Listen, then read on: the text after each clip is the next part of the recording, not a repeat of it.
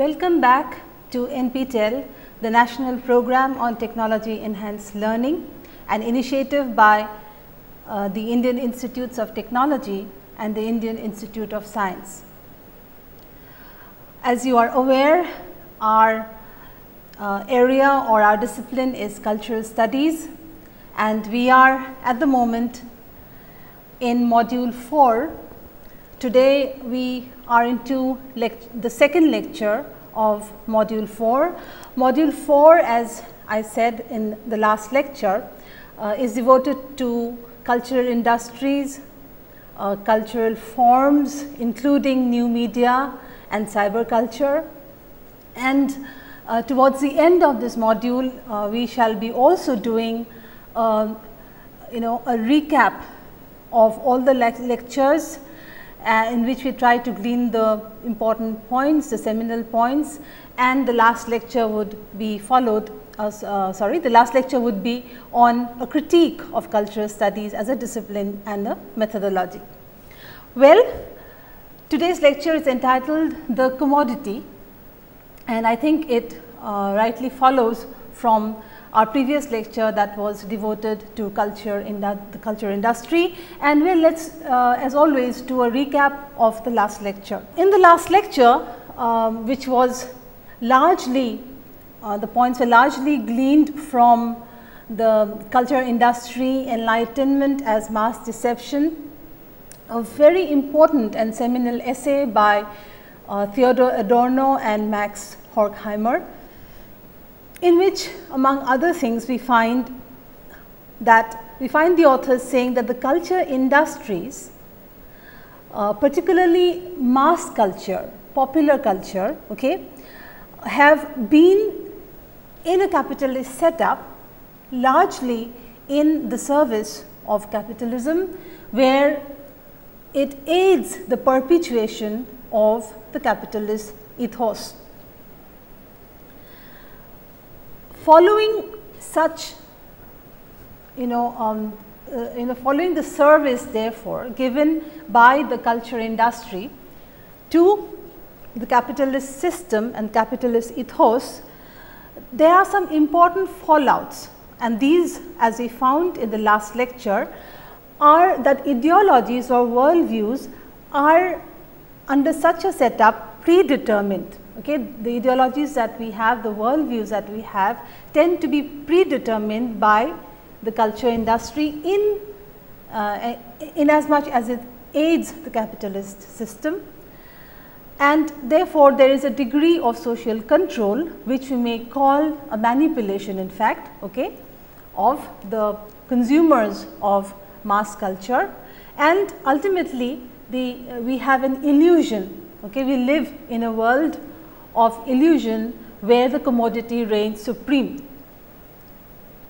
This also leads to a maintenance of social hierarchy as is already laid out in a capitalist system of social relations. Then there is a consent to such an order, a consent that is manufactured okay, by the culture industry and there is more or less an acceptance of the signs and codes okay, that are sent out right by the products of culture industries, products which we will call or we shall call cultural forms. We also read from uh, Barker where uh, we found that you know um, one is concerned as he says with the political economy of culture even as one uh, does a study of culture industry right.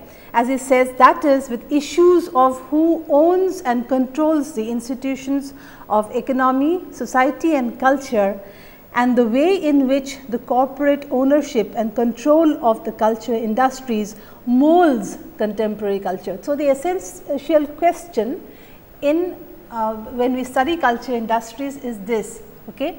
Uh, how does a capitalist system, how does in particular a corporate ownership and control of culture and culture industries, how does it mold contemporary culture and what therefore does it have, does it do to us as partakers of such a culture. And then he says in this sense the study of the culture industries forms a necessary part in cultural studies. He's telling us how, why should we study culture industries in, uh, you know, in um, cultural, within, within cultural studies when so many, the media studies, uh, for instance, media studies forms a separate um, domain altogether, it is a discipline altogether, right. So, in that sense, why should we study such uh, you know, why should we study mass culture under, under cultural studies? And the answer is that, you know, it is a matter of political economy. Who owns and controls the cultural industries that dole out cultural forms and products which have tremendous consequences for contemporary culture. That is why it is important to study cultural industries and aspects like the commodity. The commodity is the topic of discussion today. As always, let me therefore declare the key sources in this lecture. The key source texts in this lecture from which we shall be gleaning the points and from which I, I may also bring out uh, quotations or bring quotations to your notice which I shall then uh, also be uh, explaining okay, or unpacking. So, the texts here are the Sage Dictionary of Cultural Studies, the Polity Reader in Cultural Theory, Media and Cultural Studies and Key Concepts in Cultural Theory by Andrew Edgar and Peter Sedgwick. Many of these texts have already been included in other lectures. Uh, the Polity Reader in Cultural Theory is, um, is a relatively new text okay, that we are bringing in here. Fine. So, when we study the commodity, we are not only studying the commodity per se. Okay. Along with the commodity, there are other terms that also come in which are derivatives from commodity. For instance, com, uh, commodification right is a term uh, which um, we have to study along with commodity. Commodity fetishism, a clearly Marxist term. Okay. So, there are as even as we study the commodity, right, we are not going to study the commodity as an economic term. Okay. We are going to study, let me tell you in the beginning, we are going to study the commodity as a cultural term. Okay. Uh, a commodity um, uh, also as an important term in political economy. Right. Okay. So, these terms are uh, explained by Barker in the following way. Okay. A commodity simply put is something available to be sold in the marketplace.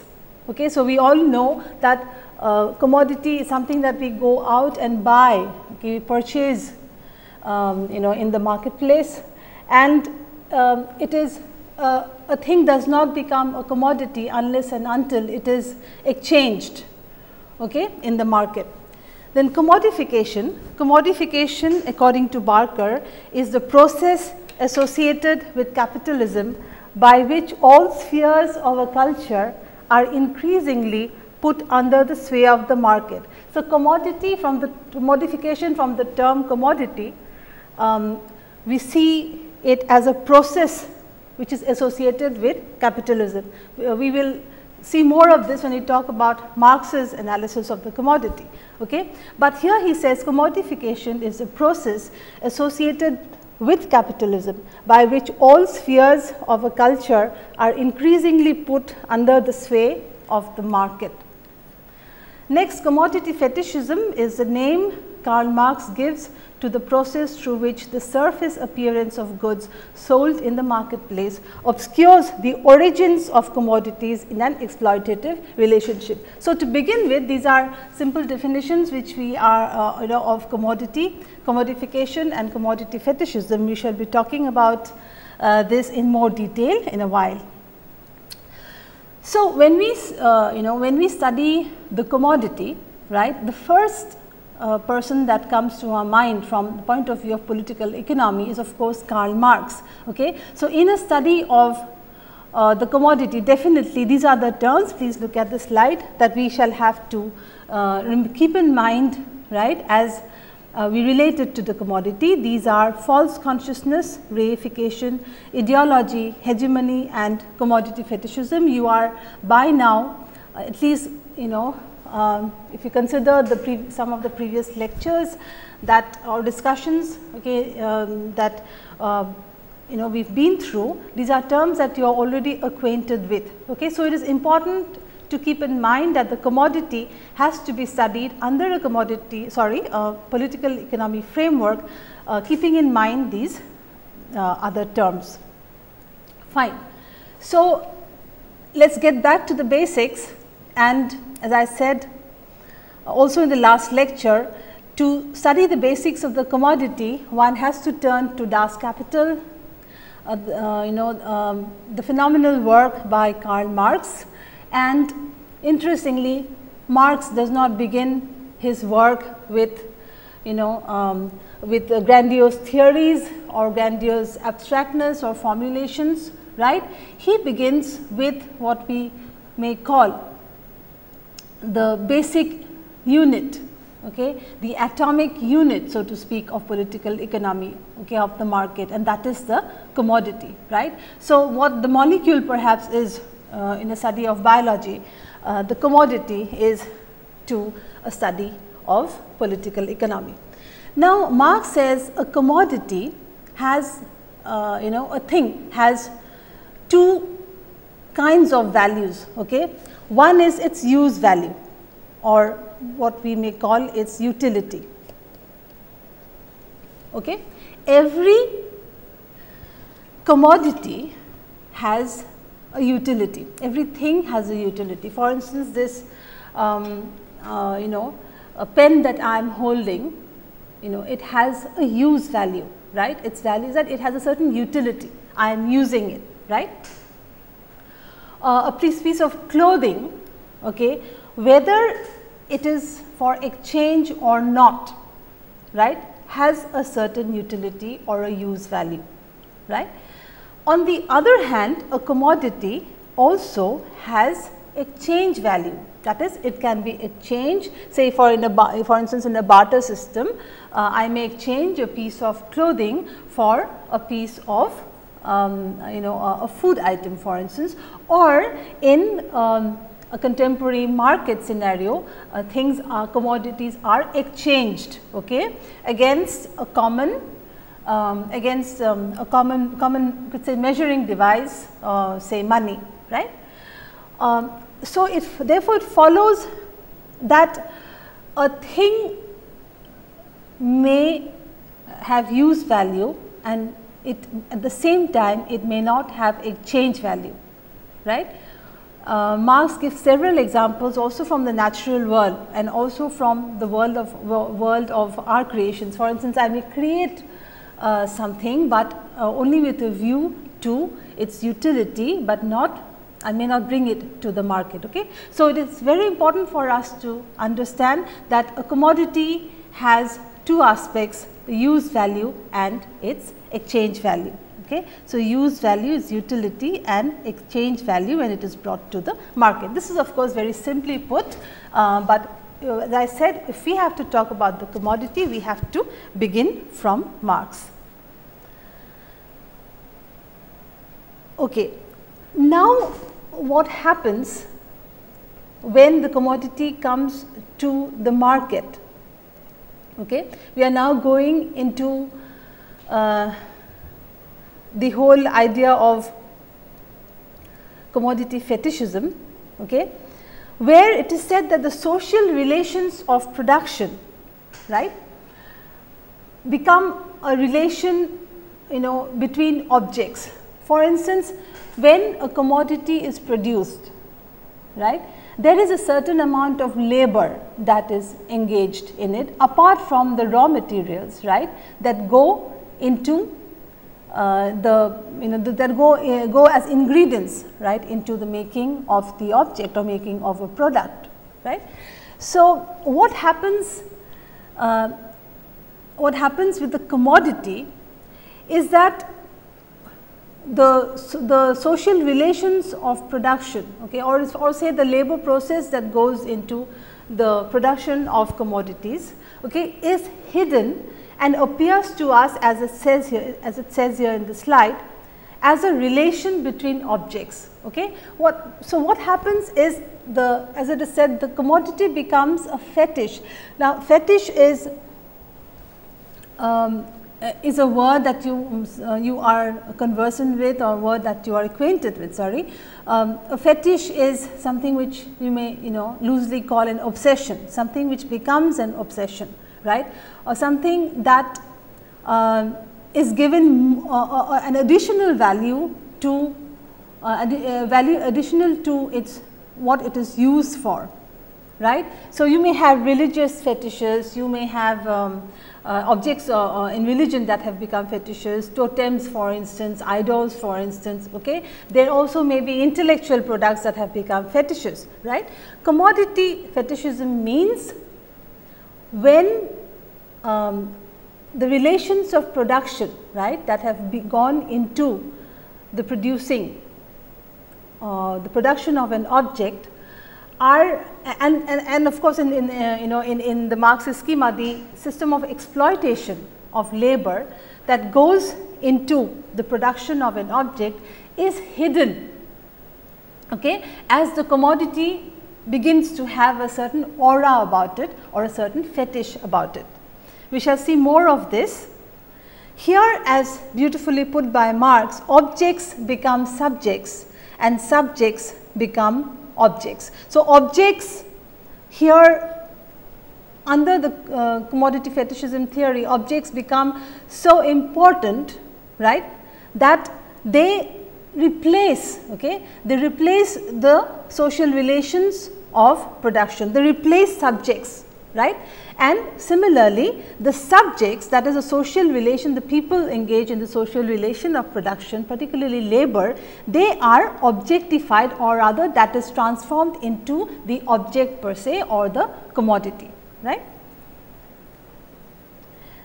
Therefore, what happens is the price of a commodity, right, which comes about as uh, you know, uh, which comes about through complex uh, arrangements of the market okay, which are man made, the price of a commodity is and uh, or the price of a commodity now seems as if it is a natural property okay, of that commodity. Why? Again as we have seen the relations of production and particularly the, the system of exploitation that uh, goes uh, goes uh, you know that goes on in a capitalist system in the sense that private profit or surplus is not shared, right, is not shared with the worker. Um, all these are hidden when the commodity is transformed into a fetishized object, right. So, in, in such a scenario even the price of the commodity is seen as a natural property as if it is uh, you know sort of um, uh, already a given. Uh, let us put it in another way uh, you know through this um, slide. Commodity fetishism is therefore related to the surface appearance of an object. When we uh, you know when we go to the marketplace, when we go to you know to the uh, uh, to the malls, when we look at objects, when we contemplate buying them, right. Um, what are we looking at? We are certainly looking at the surface appearance of the object and you will notice that increasingly right increasingly the object is presented to us. It is not just the appearance of the object per se okay? The the surrounding environment of the object is uh, you know adds to making the commodity a fetishized one right? Highlighting or foregrounding the surface qualities of a commodity so the surface, let us look at the slide, the surface appearance of the commodity masks, okay, masks or obscures the exploitative relationships in production, right. When you are looking at or contemplating buying the commodity, when you are looking at the commodity, right, on the shelf in the marketplace, you are not uh, looking or uh, the commodity is not narrating to you the story behind uh, its surface appearance. It is not telling you where it has been uh, uh, produced even if it has a tag okay, saying that made in the, this particular country, you do not have an idea uh, of where it has been, uh, under what circumstances, under what environment has it has been created. For instance, you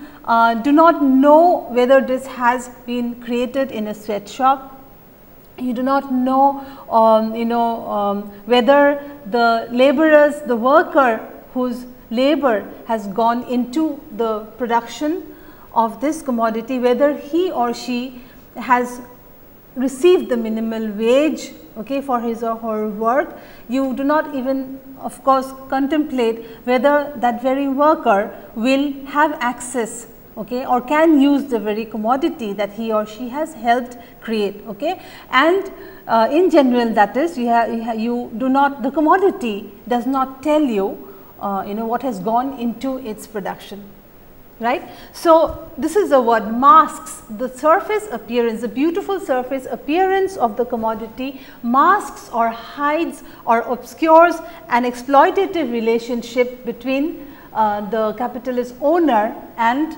the, the, the laborer, okay, the exploitative relationship, the very unequal relationship that exists. Okay. So, when we look at the commodity therefore, in um, in uh, uh, cultural studies framework, we are to look at it first and foremost under this schema. Then we will uh, now look at form certain formulations given on uh, since we talked about the surface appearance, uh, you know the beauty of uh, you know the, the commodity, the way it you know its its aesthetics help you know helps it to interpolate or to hail out to us that it is something that we need to possess. Okay. We will look now briefly at an essay entitled Critique of Commodity Aesthetics by W. F. Haug. Hmm. Uh, in this essay, Haug says that when we look at commodity aesthetics or the beauty of the commodity, what goes into you know the process of aestheticizing um, the commodity so to speak so that it its final product is one that is pleasing to the eye that is pleasurable to when we use it etc. Okay. So, he says that let us look at this slide here it is only commodity the commodity with its aesthetics is only a series of mirrors okay, that is forced on to an individual. Right. Look at this, this is very important. A series of mirrors force onto the individual. Why should he use the word mirror? Uh, you are offered therefore through the through the commodity uh, mirrors. Right? These are commodities are mirrors and it is forced on the individual. Why do you look at the you look at the mirror? You look at the mirror to see your own reflection. Okay? So in this case what is happening the commodity in its aestheticized final form okay, is a mirror uh, in which the individual uh, contemplates himself or herself. Okay. So, if you do not possess this beautiful commodity or object, uh, then you uh, you know the, the reflection tells you that this is what you will you you have to possess okay so according to Haug what do we find that in in the this course of commodity aesthetics uh, commodities in its in its un, in, in their in ultimate finished uh, appearance, right, are really a series of mirrors uh, that an individual is forced to contemplate himself or herself in, in a capitalist system. What does therefore an individual see there? In those mirrors, the individual see, sees or contemplates or the commodity seems to be something that uh, uh, something that brings out these qualities okay?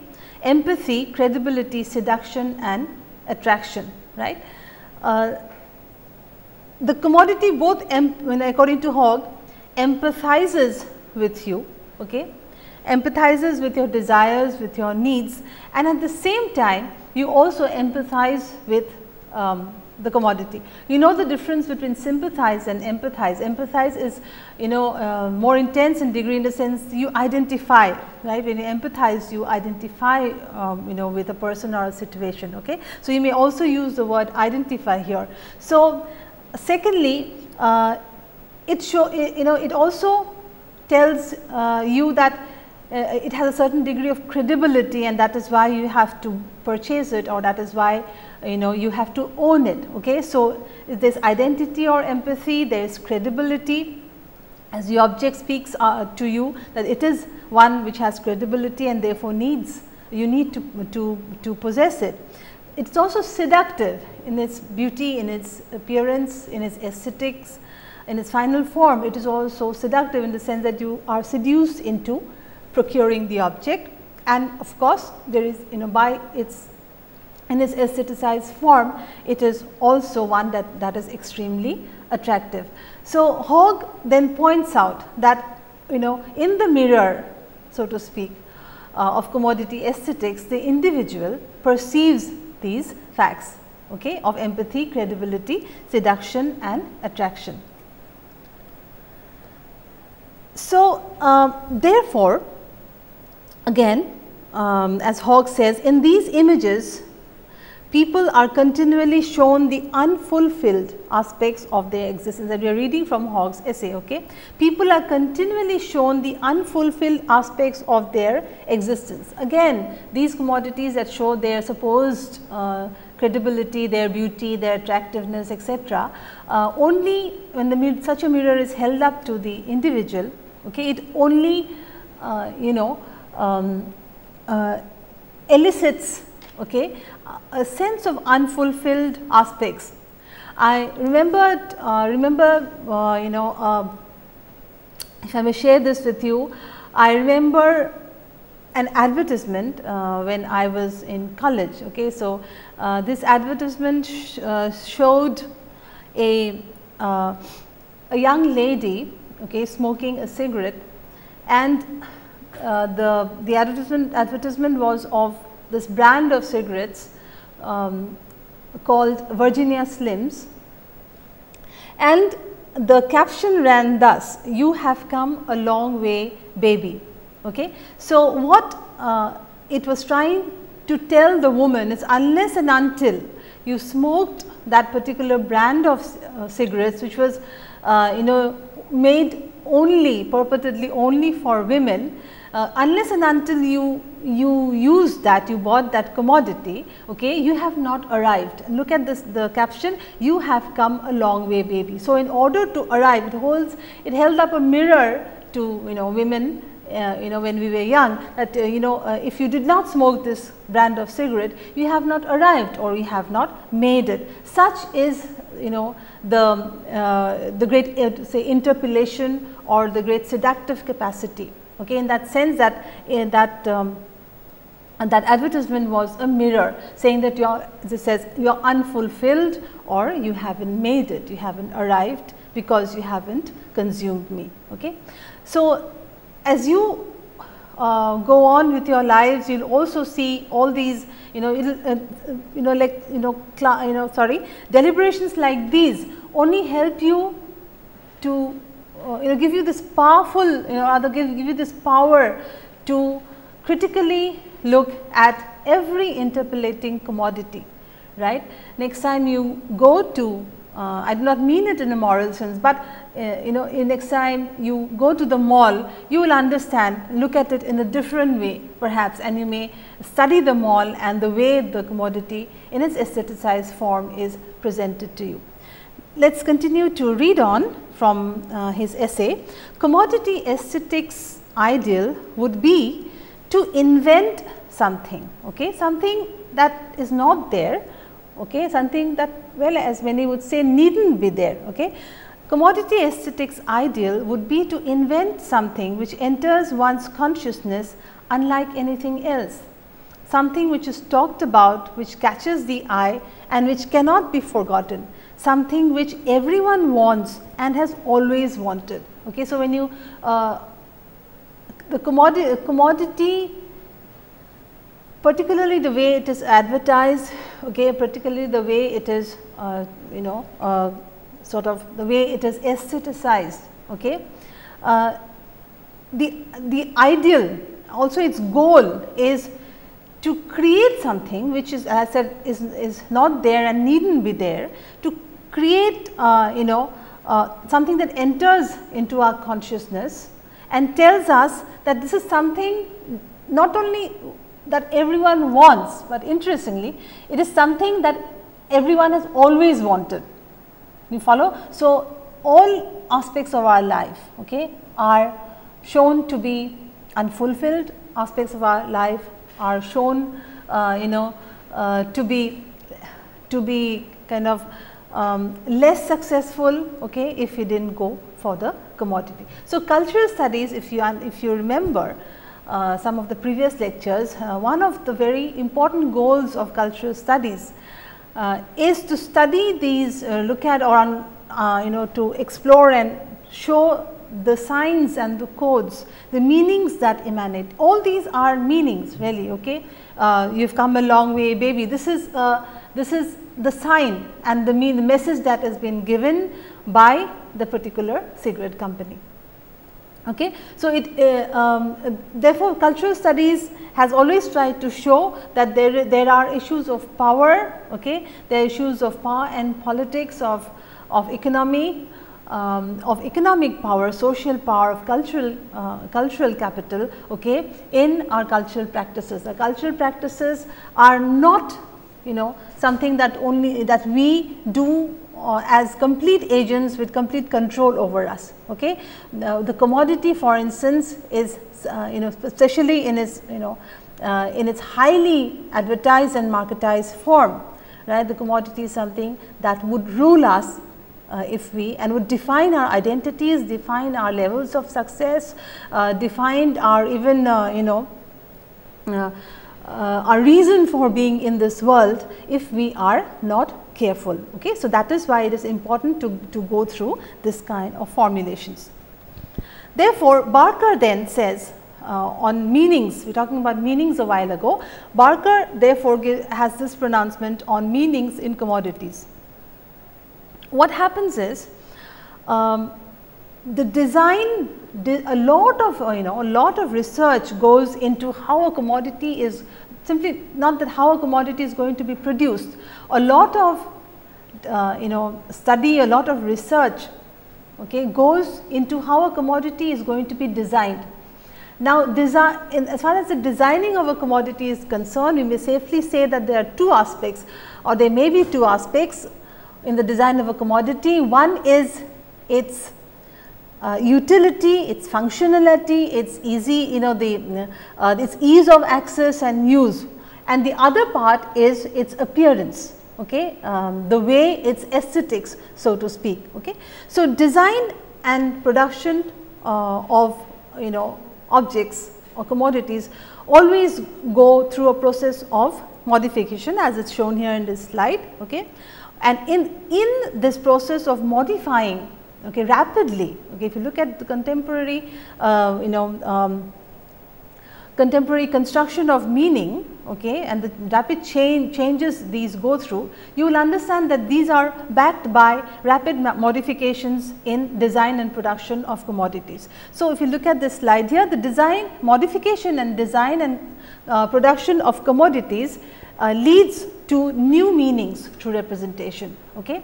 Uh, the, the, if you look at the way commodities are have been sold in the past or the way commodities have been marketed and advertised in the past, you will see it has advertisements today have come a very long way. Okay, they have changed. There is so so much of study going on. Even cognitive, uh, psychological studies of uh, consumers, pro consumer profiles, um, you know, and how what would be pleasing to a, uh, a consumer so much of research has uh, go, uh, research goes into it. So, this kind of modification okay, of the object both from point of view of design and production create new meanings through these new representations. Okay. Then these advertisements right with their newer meanings, why newer meanings? Newer because they keep changing all the time uh, constitute again new identities, right. They give new identities uh, because as I said their representation uh, keep changing because of modifications of design in a bid uh, you know to get more and more people to buy those commodities. These advertisements are also give new meanings and constitute new identities. So, this really keeps continuing in a chain okay there are changes in, in design production there is therefore creation of new meanings right and with the creation of new meanings again there are creations of new identities and once these new identities and meanings are saturated then again becomes a whole circle okay, of modification of new representations of uh, new meanings and new identities. So, it goes on ad infinitum. Then what happens is it is not just a one way traffic okay, as Barker says. It is not a one way traffic in the sense that uh, the identities that have been created okay, at the level of changes in design and production, the ident new identities that have been created and consumed and adhered to or accepted by people, these in turn okay, uh, they affect the level of consumption. Okay. For instance, if a new identity created by uh, um, you know created as a result of new changes in development uh, sorry in design and production when there is a new identity that is created which is useful or which is accepted by people which of course creates almost a fad and a kind of a fashion rage for instance in people. What happens if you look at this slide here? It affects right the level of consumption. If it is not uh, something that is accepted by people that too okay, affects the level of consumption and then the level of consumption would again feed back into the design and production. So much so they shape the production of uh, design and production of that good. Okay. So, as I said it is a whole circuit or it is a whole uh, you know it is a very circuitous um, in a circuitous manner.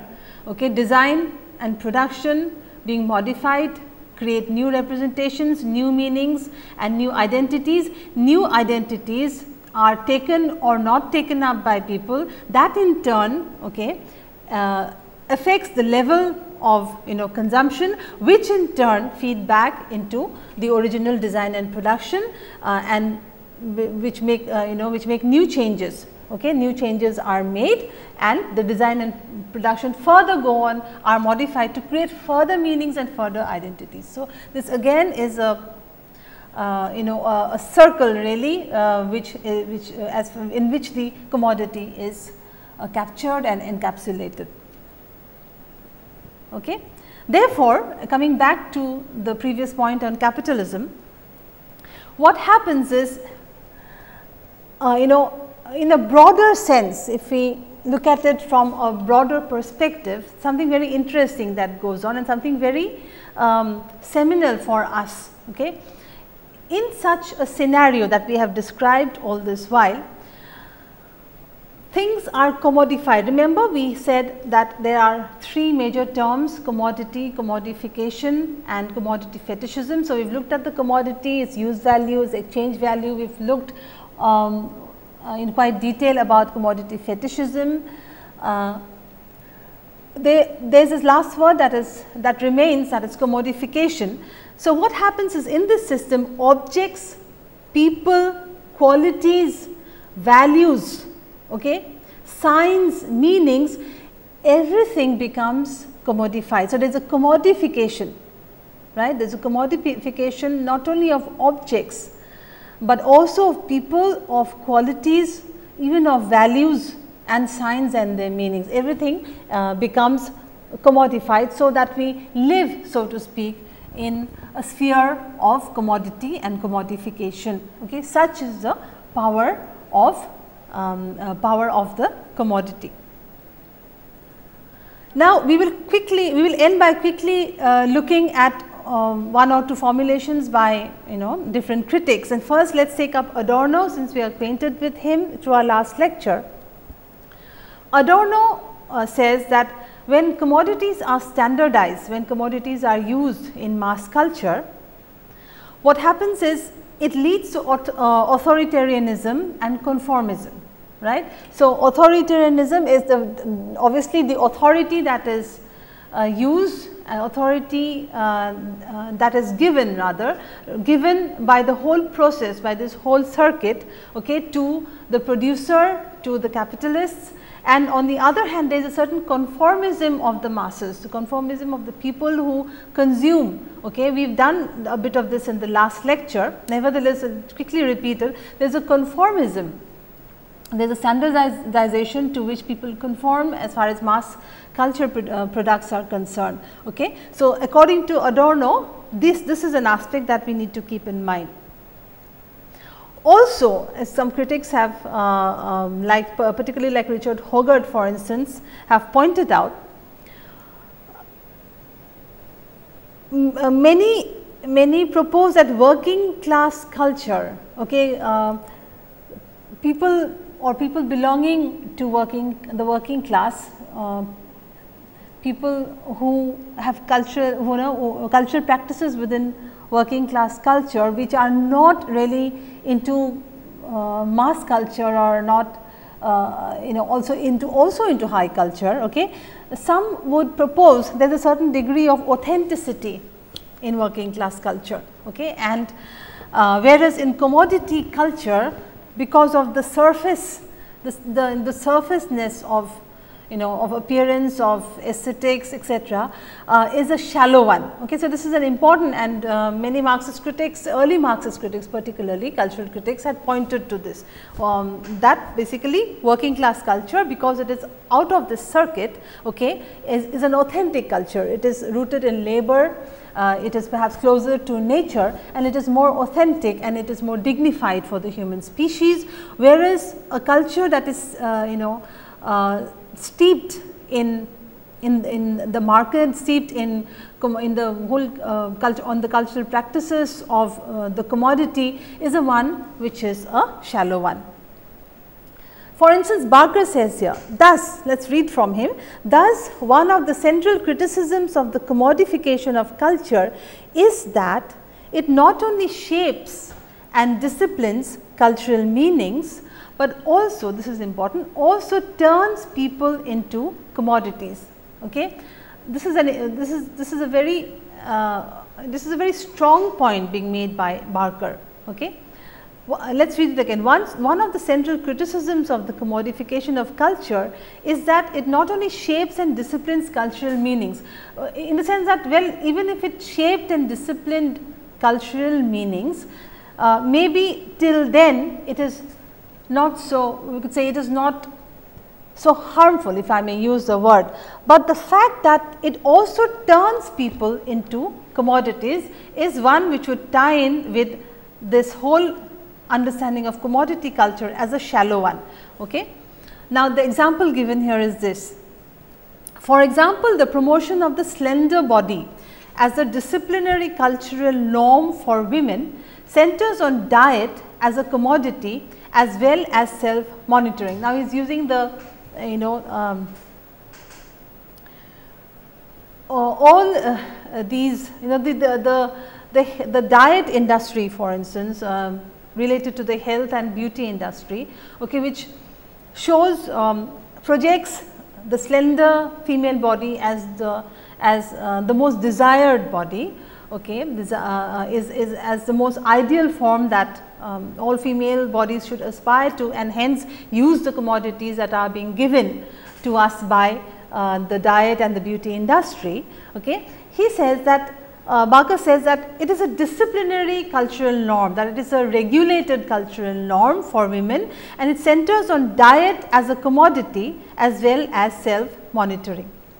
However, paradoxically, commodity culture offers us images of desirable foods while proposing that we eat low calorie items. This is the paradox. Okay? On, on the other hand, you have uh, you know food aesthetics, right? We have um, food accessibility. Remember we did uh, we had had this lecture on uh, on consumption and uh, where we talked about eating out and where we uh, where we said that um, our identities are related to uh, you know to food, food and cultural studies form a very important food forms a very important area of cultural studies and how desires uh, how palates are even constructed okay and identities are also woven into this.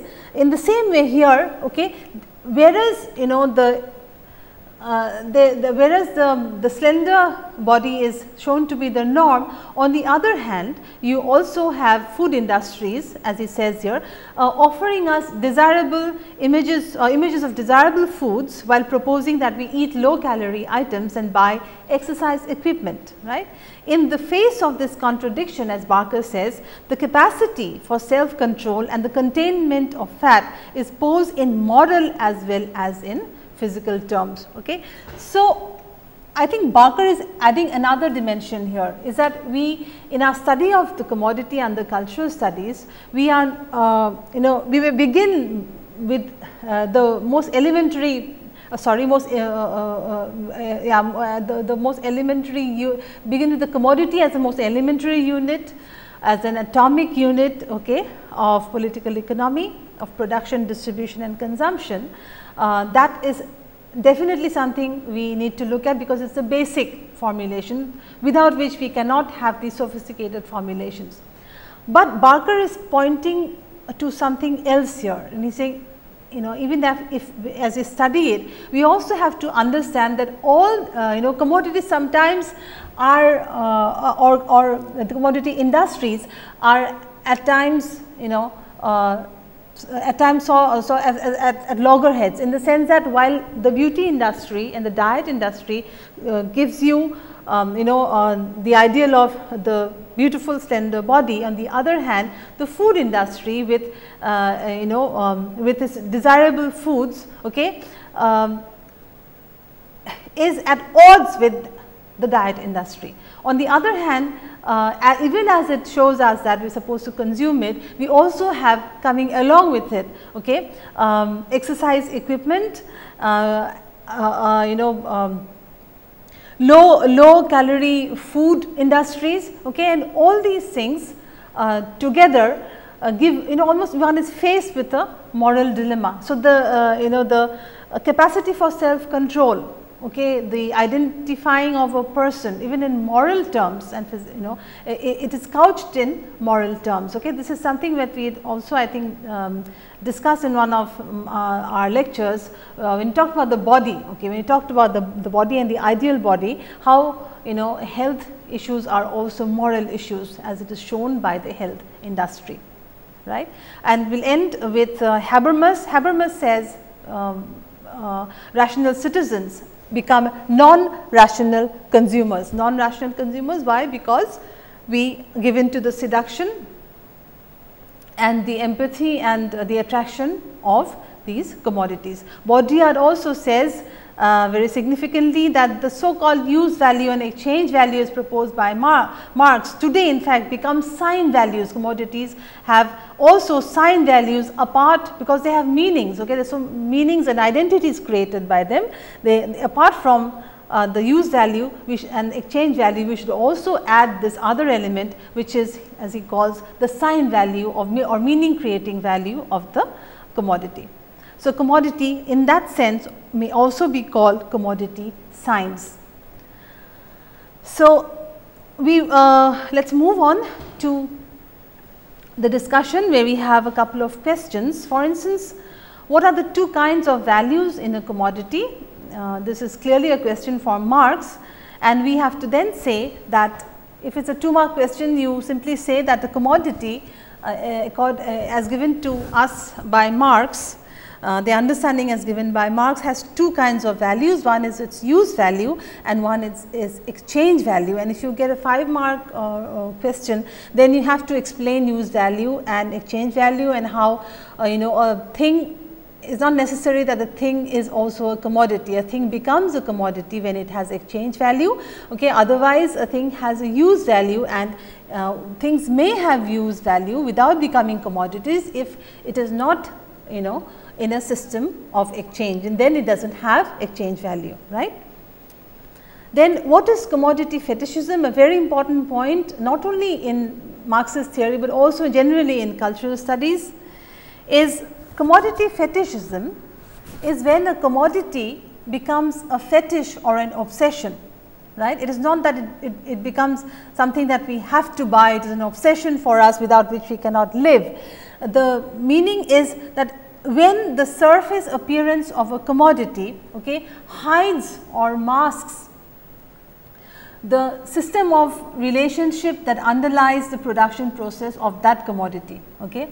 But in particular, it hides the exploitative uh, relationship in uh, the social relation of production, okay, where the commodity uh, is shown you know in its final form, fi final aestheticized form to the public okay, and where it, it has no markers, it has no signs of what has gone into the production. It has no signs as to where it has been usually it has no signs of where it has been produced, under what labor conditions it has been produced, what were the wages paid to the laborers. Okay. Perhaps if those signs and markers were there, indications were there, one in a moral sense would think twice before consuming, but that object. But in, in, uh, in a uh, system of capitalism, the commodity is shown to be something that we have to possess where, where our identities are engaged, where meanings are engaged,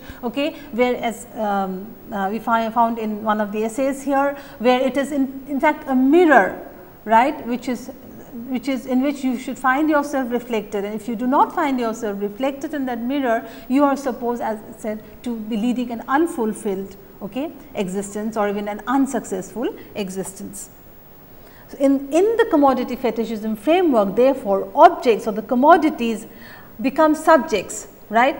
Instead of people and their social and economic relationships being most important, it is the object which takes place of people and the subjects therefore people also become commodities. This is so beautifully put by Marx okay, where objects become subjects and subjects become objects. People become objects and the objects uh, become more important than people. Finally, what is commodity aesthetics and we uh, say that commodity aesthetics according to Haug um, or of course, commodity aesthetics is uh, would be um, an area of study and research um, where you know um, where um, research researchers would try and you know enhance okay the aesthetic aspects of a commodity other than its utility, but uh, Haug here gives us a critique of and tries to show us what uh, actually goes behind uh, commodity aesthetics and he calls it a series of mirrors which has, ha, has been forced upon an individual in the name of creating empathy credibility in commodities which are uh, and a certain attractiveness which actually are a seductive device okay, so that we may use and buy and use these commodities. So, how does Baudrillard conceptualize a commodity? Baudrillard says that uh, apart from use value and exchange value, today with the increasing uh, aestheticization and the surface meanings, okay, the increasing importance in the surface meanings of commodities, what we have to do is we also have to say that there is another, you know, um, uh, there is another value and which is the sign value or the symbolic meanings that adhere or that sort of uh, surround okay, a commodity uh, because commodities are fetishized. Okay. Well, I hope uh, then this lecture on the commodity as a cultural form and a commodity as the basic unit of cultural industries. I hope this lecture has been important for, for you. Definitely this is not all this is certainly not all that we can say about commodity, but at least I hope by you know by introducing this topic to you and talking about things like the Marxist conception of use value and um, uh, and exchange value of commodity fetishism of you know the um, the way we can critique commodity aesthetics and we, the way we can see the interpellation how it uh, you know how in the capitalist system uh, commodities are you know not given to us only in their utilitarian forms, but also in their highly aestheticized, highly advertised forms. I hope these are, uh, this has been useful to you and um, we shall uh, remain with culture industries and cultural forms and when we talk about in the next few lectures on media, on television, on new media, on you know virtual uh, and cyber culture, etc. Okay? So, thank you for now.